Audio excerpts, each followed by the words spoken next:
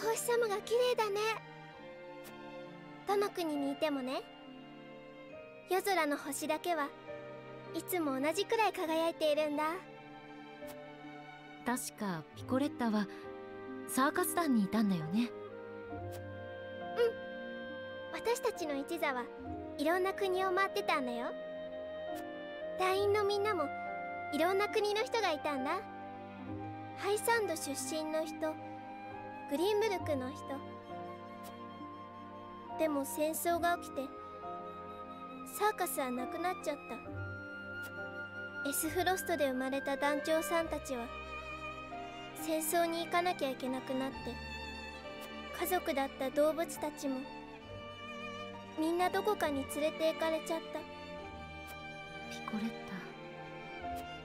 タ。でもね私諦めない早くこの戦争を終わらせてサーカス団を復活させるんだ。ええ。ピコレッタなら絶対にできる。